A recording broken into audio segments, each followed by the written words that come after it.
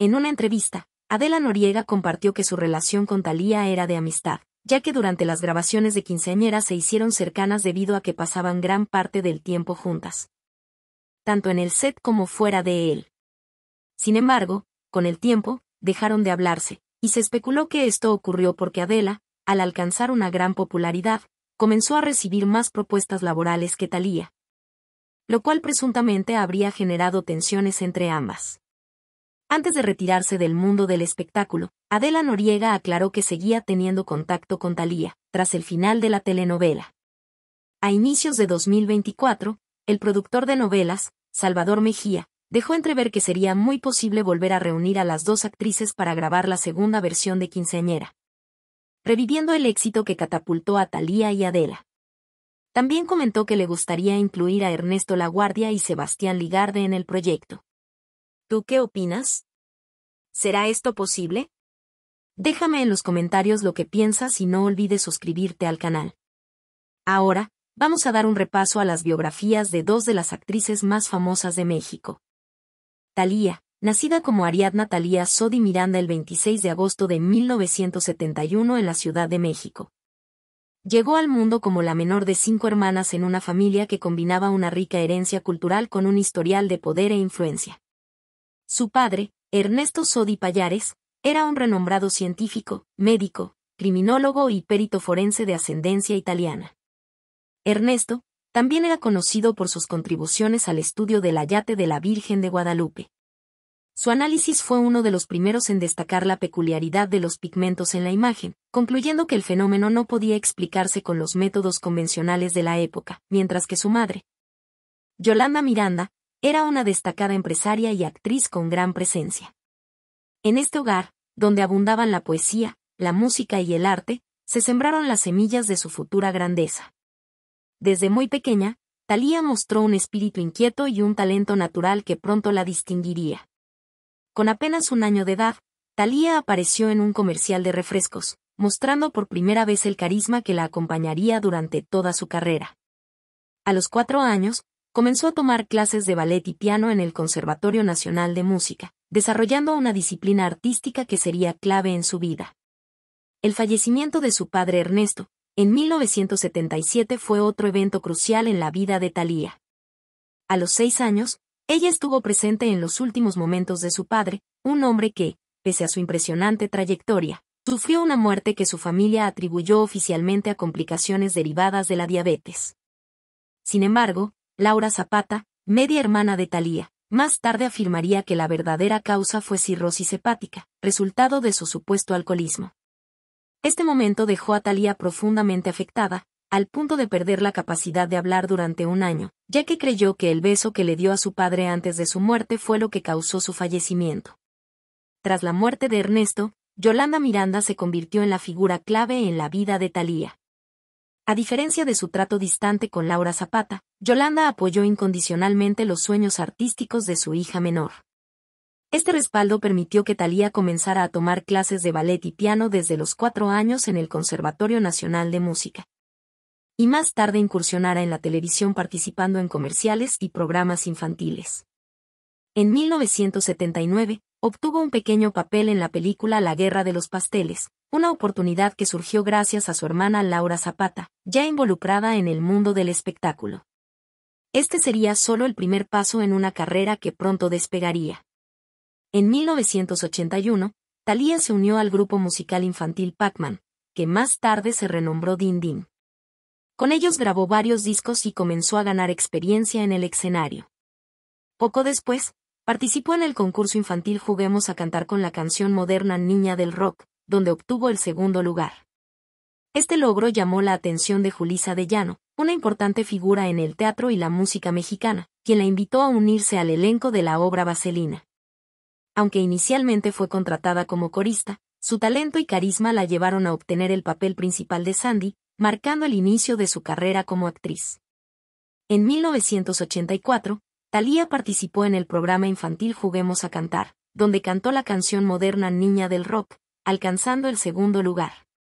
En 1986, Thalía se unió al famoso grupo Timbiriche, ganando popularidad. Su participación en la banda no solo le permitió destacar en la música, sino que también abrió las puertas a la televisión. En 1987, protagonizó junto con Adela Noriega la exitosa telenovela Quinceañera, una producción innovadora que abordaba problemas sociales juveniles. Esta actuación no solo le valió el reconocimiento del público, sino también el premio a Mejor Actriz Revelación. La canción principal de la telenovela, interpretada por Timbiriche, se convirtió en un clásico, consolidando a Thalía como una de las artistas jóvenes más prometedoras de México. Con su talento como actriz y cantante en ascenso, Thalía se embarcó en una carrera musical como solista en 1990, debutando con un álbum homónimo producido por Alfredo Díaz Ordaz, quien también se convirtió en su pareja sentimental. La relación entre ambos causó controversia debido a la diferencia de edad. Alfredo tenía 40 años y Thalía 19. A pesar de las críticas, el romance floreció, y juntos escribieron canciones como Un pacto entre los dos y Saliva. Sin embargo, este amor trajo consigo un capítulo trágico. Durante el rodaje de María la del barrio, Talía recibió la devastadora noticia de que Alfredo había fallecido debido a complicaciones de hepatitis. El dolor fue inmenso, y Talía rindió homenaje a su memoria con la conmovedora canción Sangre, inmortalizando su historia de amor. A medida que su carrera avanzaba, Talía enfrentó críticas y obstáculos. Raúl Velasco, un influyente presentador de la época, la llamó corriente en televisión nacional, comentario que causó controversia. Sin embargo, Thalía supo demostrar su valía y continuó con su ascenso en la música y la actuación. Thalía alcanzó nuevos niveles de éxito con la trilogía de telenovelas que la consagrarían como la reina de este género, iniciando en 1992 con María Mercedes, Marimar y María la del Barrio, consecutivamente. Estas producciones llegaron a audiencias de más de 2.000 millones de personas en 182 países, convirtiéndose en fenómenos culturales. Las mezquitas modificaban los horarios del Ramadán para permitir a los fieles ver las telenovelas de Thalía, mientras que en México y otros países, nombres como Marimar y María Mercedes se popularizaron entre los recién nacidos. En el ámbito musical, Thalía continuó cosechando éxitos. En 1995, lanzó el álbum En Éxtasis, producido por Emilio Estefan, que marcó su debut internacional. Canciones como Piel Morena y Amándote se convirtieron en éxitos instantáneos, catapultándola al estrellato global. Dos años después, con Amor a la Mexicana, Thalía reafirmó su posición como una de las artistas latinas más influyentes, vendiendo más de 5 millones de copias en todo el mundo. Este álbum incluyó éxitos como Por Amor y Mujer Latina, que resonaron en audiencias internacionales. Sin embargo, no todo fue fácil. En 2002, Talía enfrentó una de las crisis más difíciles de su vida cuando sus hermanas Laura Zapata y Ernestina Sodi fueron secuestradas en la Ciudad de México. Aunque ambas fueron liberadas, este evento fracturó profundamente a la familia. Las tensiones aumentaron cuando Ernestina publicó un libro titulado Líbranos del Mal, insinuando que Laura había sido liberada antes por estar coludida con los sectores. Estas acusaciones llevaron a un distanciamiento definitivo entre Talía y sus hermanas, una herida que nunca se ha cerrado del todo. A lo largo de su carrera, Talía ha demostrado una capacidad única para reinventarse. Ha explorado géneros como la bachata y el reggaetón, colaborando con artistas contemporáneos como Maluma, Becky G y Leslie Shaw. Además, superó desafíos personales como la enfermedad de la IM, que casi le costó la vida. Según lo que Talía compartió públicamente, no fue consciente del momento en que fue picada por la garrapata, lo cual es común, aunque dijo que fue en el Central Park de Nueva York, pero es solo una teoría, ya que estas picaduras suelen ser indoloras. Sin embargo, al persistir y empeorar los síntomas, buscó atención médica, donde se le diagnosticó la enfermedad. Talía inició un tratamiento intensivo que incluyó antibióticos y terapias complementarias. Esta experiencia llevó a Thalía a crear conciencias y a compartir su historia para que más personas estuvieran informadas sobre los riesgos de esta afección y cómo prevenirla. Especialmente al estar en contacto con áreas donde las garrapatas son comunes. La madre de Thalía, Yolanda Miranda, falleció el 27 de mayo de 2011 a los 76 años. La causa de su muerte fue un derrame cerebral que le provocó una muerte súbita. Yolanda se había retirado a dormir después de manifestar un fuerte dolor de cabeza, y aproximadamente a las 4 de la madrugada sufrió el derrame que terminó con su vida. Este inesperado suceso ocurrió mientras Thalía se encontraba en Nueva York, a pocas semanas de dar a luz a su segundo hijo. A pesar de su avanzado estado de embarazo, Thalía decidió viajar a México para despedirse de su madre y estar presente en los servicios funerarios. La pérdida de Yolanda fue un golpe devastador para la cantante, quien siempre tuvo una relación muy cercana con ella y consideraba a su madre una de las personas más importantes de su vida. Thalía ha incursionado en el mundo de la moda, lanzando varias líneas de ropa y accesorios que reflejan su estilo y herencia cultural. En 2003, presentó la colección Thalía Sodi en colaboración con Kmart, ofreciendo prendas inspiradas en la cultura mexicana. Esta línea incluyó ropa, accesorios y productos para el hogar, y estuvo disponible en más de 2.000 tiendas en Estados Unidos.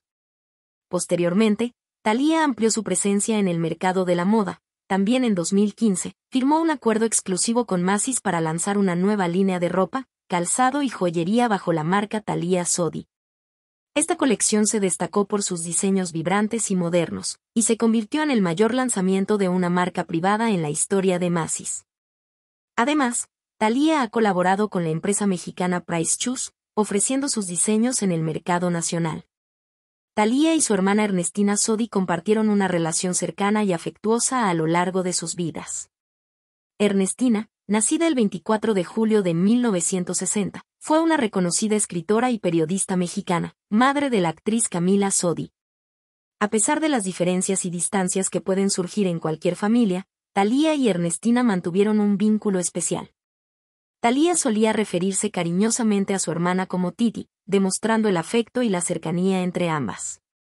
En diversas ocasiones, Talía expresó públicamente su admiración y amor por Ernestina, resaltando su resiliencia y bondad. Lamentablemente, Ernestina Sodi falleció el 8 de noviembre de 2024 a los 64 años, tras enfrentar complicaciones de salud derivadas de dos infartos y la ruptura de la arteria aorta. Su hija, Camila Sodi, confirmó la noticia a través de sus redes sociales, compartiendo el profundo dolor de la familia. Talía también expresó su tristeza mediante un emotivo mensaje en Instagram, donde destacó la fortaleza de su hermana y agradeció a Dios por haberles permitido despedirse de ella en sus últimos días. La partida de Ernestina dejó un vacío en la vida de Talía. La relación entre Talía y su hermana mayor, Laura Zapata, ha sido una de las más polémicas y mediáticas. Sus historias de vida y experiencias familiares han sido marcadamente distintas, lo que ha contribuido a la tensión entre ellas.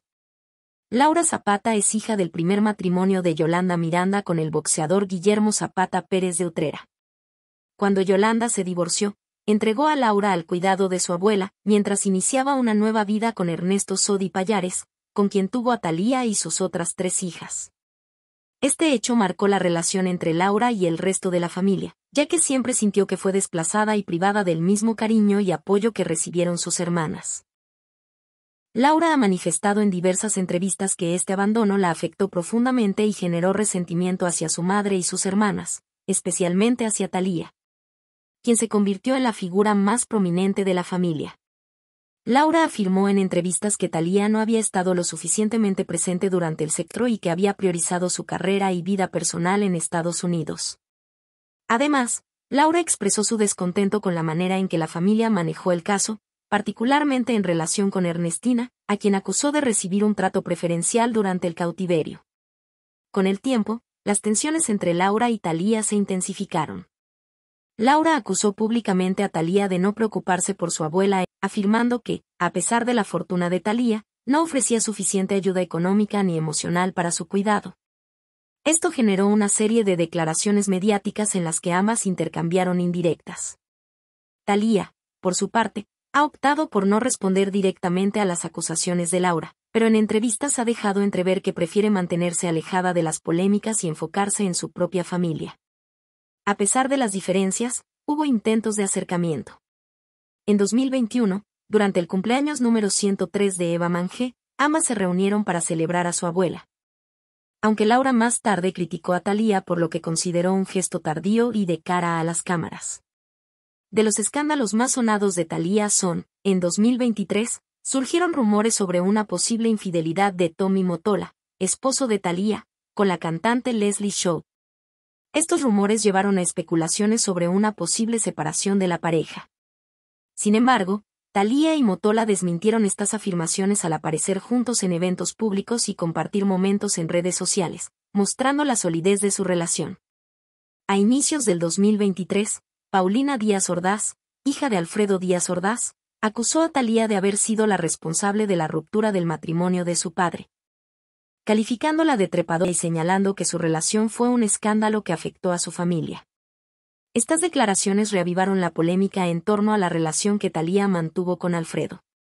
En octubre de 2024, se mencionó a Talía y a su esposo Tommy Motola en relación con fiestas organizadas por el rapero Didi, donde supuestamente ocurrieron actos ilegales. Aunque no se han presentado pruebas concretas que vinculen directamente a la pareja con estas actividades, la mención de sus nombres en este contexto generó revuelo mediático. En abril de 2024, lanzó su álbum A Mucha Honra, un homenaje a la música regional mexicana que incluye colaboraciones con artistas como Ángela Aguilar y Grupo Firme.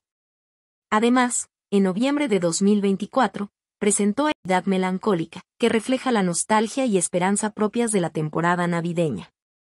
Actualmente vive con su esposo y sus dos hijos, Sabrina de 17 años y Matthew de 13 años. Talía está muy activa en redes sociales dando consejos de moda y cocina, entre otros.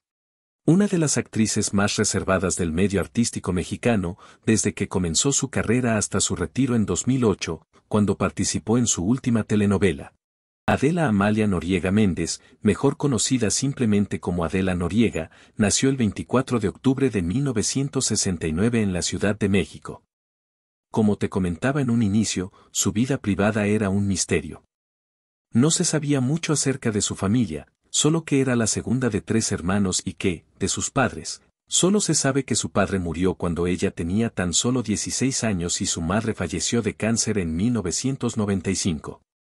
Al faltar su padre, la situación económica de la familia se tornó muy difícil, pasaron momentos muy duros, pero siempre fueron una familia muy unida.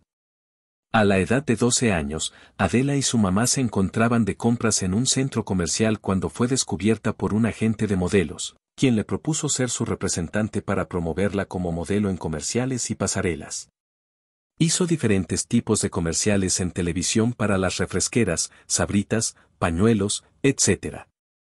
Adela era muy solicitada en esa época y empresarios la empezaron a buscar para que los representara en sus marcas comerciales. También empezó a salir en videos musicales, como en Corazón de Fresa de Lucía Méndez y Palabra de Honor de Luis Miguel. Ambos, tuvieron un breve romance, pero terminaron debido al arduo trabajo que ambos tenían en ese momento. La popularidad de Adela creció aún más, haciendo su debut en el cine al lado de Isela Vega, Irma Serrano y Andrés García, en la película Los amantes del Señor de la Noche. Aunque su participación fue pequeña, su presencia actoral en la pantalla llamó la atención y fue invitada a que Adela ingresara al Centro de Educación Artística para dedicarse formalmente a su carrera de actriz. Fue invitada a participar en el exitoso programa Cachún Cachún, Ra Ra.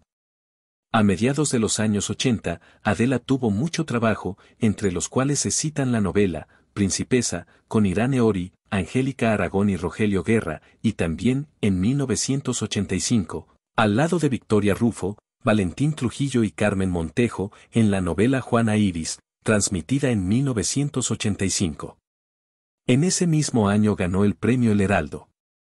En 1987 debutó con la serie de Yesenia, donde alternó con Luis Uribe, Ofelia Gilmain y Norma Herrera. Ese mismo año, en 1987, obtuvo su primer protagónico con la telenovela llamada Quinceañera, una novela dramática de corte juvenil, dirigida por Pedro Damián y Mónica Miguel. Fue una de las primeras novelas donde se trataron abiertamente problemáticas sociales. Además de Adela, también protagonizaron, Talía, Ernesto Laguardia, Rafael Rojas, Sebastián Ligarde y Nailea Norvind. Fue un éxito rotundo, la novela se vendió a otros países siendo también un éxito. En 1988 grabó la novela Dulce Desafío con Eduardo Yáñez, Chantal Andere, Sergio Flain y Alberto Estrella, entre otros. En 1992, Adela fue vetada por Televisa por firmar un contrato con Telemundo, mudándose a los Estados Unidos, donde grabó la novela Guadalupe, siendo un éxito internacional, principalmente en los países árabes. En 1994 se trasladó a Colombia para protagonizar la novela María Bonita con Fernando Allende. En 1997, Adela regresó a Televisa, los cuales le ofrecieron un contrato millonario por seis años de exclusividad, lo cual ella aceptó. Ese mismo año que firmó el contrato, iniciaron las grabaciones de la novela María Isabel, dirigida por Carla Estrada y con la adaptación de la obra original de Yolanda Vargas Dulce. Adela interpreta a una indígena huichola que se enamora de un millonario que era Fernando Carrillo. También participaron Lorena Herrera, Lilia Aragón y Patricia Reyes Espíndola. La novela es ganadora de varios premios Twinovelas. En 1998, llegó su consagración como actriz con la novela El privilegio de amar, con Elena Rojo, René Stickler, Andrés García y Marga López. Esta se convirtió en una de las novelas con mayor rating en México y también alcanzó fama internacional. Adela se tomó un descanso de tres años y regresó en 2001 para coprotagonizar la novela El manantial junto a Mauricio Islas, dirigida por Mónica Miguel y Claudia Barraza, siendo otro éxito internacional. En 2003, vuelve a trabajar con Carla Estrada en una novela ambientada en el siglo XIX, llamada Amor Real, la cual fue una adaptación de la novela Bodas de Odio. En México, la telenovela obtuvo altos índices de audiencia durante su transmisión, logrando mantenerse en los primeros lugares de rating. Su éxito se extendió a nivel internacional, siendo transmitida en varios países de América Latina, Estados Unidos y Europa, donde también recibió una gran acogida. La telenovela destacó por su alta calidad de producción, con un gran cuidado en la ambientación histórica, los escenarios, el vestuario y la fotografía. Esta atención al detalle ayudó a crear una atmósfera auténtica del México del siglo XIX, lo que fue muy bien recibido por el público y la crítica. Las actuaciones de Adela Noriega, Fernando Colunga y Mauricio Islas fueron ampliamente elogiadas. En 2005, protagonizó La esposa virgen con Jorge Salinas. Esta novela fue basada en la radionovela Tormenta de Pasiones de 1965. En 2008, Adela grabaría su última novela en México llamada Fuego en la Sangre, producida por Salvador Mejía y protagonizada por Jorge Salinas, Eduardo Yáñez, Pablo Montero, Elizabeth Álvarez y Nora Salinas. La novela fue una adaptación de Pasión de Gavilanes, transmitida en Colombia y la cual fue un gran éxito. Aunque Fuego en la Sangre, en su momento, recibió algunas críticas negativas por los temas que se trataron, logró el éxito tanto en México como en el extranjero. Hace poco, en una entrevista, Carla Estrada confesó cuáles eran las exigencias de Adela Noriega para trabajar con ella y al contrario de lo que muchos se imaginarían, Adela era una persona sencilla, sin aires de diva. Por el contrario, los actores tienen que soportar climas extremos y, dependiendo del personaje, hasta caminar descalzos o con escasa ropa tolerando el frío.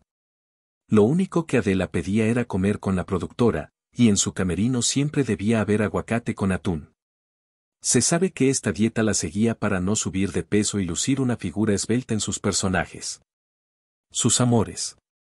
El primer romance conocido de Adela fue con Emilio Azcárraga Milmo, dueño de Televisa, donde se le abrieron las puertas a Adela para el comienzo de su carrera.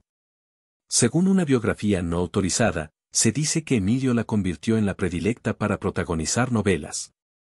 También, en la serie que el mismo Luis Miguel fue guionista, confirmó que fue novio de Adela después de que trabajaron juntos en el video Palabra de Honor en la década de los 90. Rumores y libro. Durante muchos años, Adela fue relacionada con el expresidente Carlos Salinas de Gortari y, aunque nunca ha sido confirmado por ninguno de los dos, los rumores sobre una posible relación sentimental entre ambos comenzaron en los años 90, durante el tiempo en que Salinas fue presidente de México entre 1988 y 1994. Hubo muchas personas que los vieron juntos, ya que se dice que existió un catálogo donde altos funcionarios de la política escogían a su favorita. En el libro del periodista Rafael Lorete Mola, llamado Los escándalos, se habla acerca de un altercado que tuvo la esposa de Carlos y Adela en el Hospital Ángeles de la Ciudad de México cuando recién se alivió de su bebé. Cecilia, quien en aquel entonces aún era la esposa de Salinas, fue a reclamarle, aún estando convaleciente por el parto. También dijo que Carlos le prohibió estrictamente a Adela decir algo acerca de su relación, ya que no quería que su imagen se viera empañada, llevando una vida intachable con su esposa e hijos. Al terminar el sexenio, su esposa le pidió el divorcio por esta infidelidad con Adela. Mientras Adela grababa las novelas, muchas veces la acompañaba un pequeño niño, quien ella decía que era su sobrino, pero tiempo después se descubrió que realmente era su hijo, y es que era un secreto a voces que Adela se retiró del medio artístico para dedicarse a su hijo. Supuestamente, Carlos le compró una casa en una zona residencial y exclusiva al sur de Miami, junto a la playa. Una vez retirada, se fueron ella y su hijo para dedicarse a los bienes raíces, también se dedicaron a comprar propiedades en Suiza e Italia. De su hijo no se sabe el nombre, solo que tiene 36 años. Todos estos rumores se reavivaron por las declaraciones que hizo Chanik Berman en la Casa de los Famosos 2024, cuando uno de los integrantes le preguntó a Chanik si sabía algo de la vida de Adela Noriega, a lo que le contestó que Adela se había retirado muy dolida por todos los comentarios que se hicieron sobre ella en la última novela que grabó, Fuego en la Sangre, ya que había recibido muchas críticas por parte del público y sus compañeros. Todos opinaban que Adela era muy grande para el personaje y que no le quedaba actuar como jovencita, siendo que ya era una persona madura. También aseguró Chanik que la actriz no aceptaba papeles en donde no era la protagonista, ocasionando el fin de la carrera de Adela. Otra de las críticas hacia la actriz fue que no le gustaba que la maquillaran mucho, quería salir a escena lo más natural posible, lo que no le permitía esconder un poco las arrugas naturales de la edad. Su regreso. Se sabe de buena fuente que Adela ya firmó con la plataforma de Netflix para participar en una serie. En este momento se están haciendo los castings y sería la reaparición de Adela después de 18 años de ausencia. Adela Noriega ha sido, sin duda, una de las figuras más queridas del mundo de las telenovelas mexicanas. Su talento, belleza y carisma le permitieron conquistar no solo a México, sino también a millones de espectadores en todo el mundo. Desde sus humildes comienzos como modelo descubierta en un centro comercial, hasta su consagración como una de las actrices más respetadas de la televisión, Adela ha demostrado una dedicación y un amor por su oficio que la hicieron destacar entre sus contemporáneas. A lo largo de su carrera, Adela Noriega fue capaz de interpretar una amplia gama de personajes, desde jóvenes inocentes y soñadoras hasta mujeres fuertes y decididas, siempre dejando una marca indeleble en cada uno de ellos. Su habilidad para transmitir emociones profundas y conectar con el público la convirtió en una actriz que resonó con personas de todas las edades y de diferentes partes del mundo. A través de sus actuaciones, Adela exploró temas complejos y relevantes, ayudando a elevar el género de la telenovela a nuevas alturas. Además de su talento como actriz, Adela Noriega siempre fue conocida por su carácter reservado y su habilidad para mantener su vida privada fuera del ojo público. Este misterio que la rodeaba solo aumentó su atractivo y fascinado al público, que la admiraba tanto por su talento como por su capacidad de mantenerse al margen de los escándalos. A pesar de su fama, Adela siempre se mantuvo humilde y centrada, demostrando que es posible tener una carrera exitosa sin perder la autenticidad. El retiro de Adela Noriega en 2008 marcó el final de una era para muchos de sus seguidores, quienes lamentaron su ausencia en la pantalla. Sin embargo, su legado continúa vivo a través de las memorables actuaciones que dejó en sus telenovelas. Cada personaje que interpretó, desde la inocente quinceañera hasta la valiente heroína de época, es recordado con cariño por los fanáticos que crecieron viéndola. Su impacto en la cultura popular mexicana es innegable, y su trabajo ha dejado una huella imborrable en la televisión y en los corazones de quienes la vieron. Hoy, Adela Noriega sigue siendo una figura enigmática que despierta la curiosidad y el respeto de sus seguidores. Aunque se ha mantenido alejada de los reflectores durante más de una década, su influencia perdura y su nombre sigue siendo sinónimo de excelencia en la actuación. Su vida y su carrera nos recuerdan que el verdadero talento y la pasión por el arte no dependen del tiempo que se pase frente a las cámaras, sino de la calidad y la autenticidad que se aportan en cada proyecto.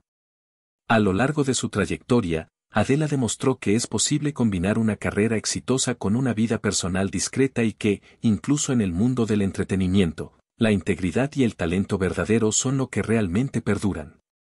Aunque su retiro dejó un vacío en la televisión, su legado continúa inspirando a nuevas generaciones de actores y actrices que sueñan con seguir sus pasos y alcanzar el mismo nivel de respeto y admiración que ella logró. Adela Noriega no solo fue una estrella de telenovelas, fue un ícono cultural que ayudó a definir una era de la televisión mexicana. Su impacto va más allá de los ratings y los premios, es una muestra de cómo el arte puede tocar vidas y conectar a personas de diferentes culturas y generaciones. Su nombre permanecerá siempre en la memoria colectiva como un símbolo de elegancia, talento y profesionalismo, una verdadera leyenda de la televisión.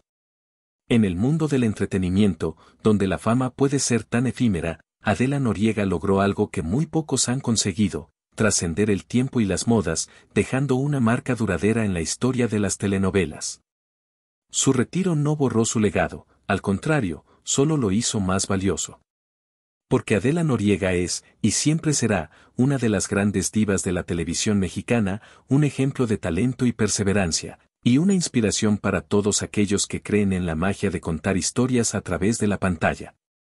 Así, despedimos esta biografía de Adela Noriega, con la certeza de que su nombre seguirá brillando en el firmamento del entretenimiento, recordándonos que la verdadera grandeza no se mide solo por el éxito, sino por el impacto que se deja en el corazón del público.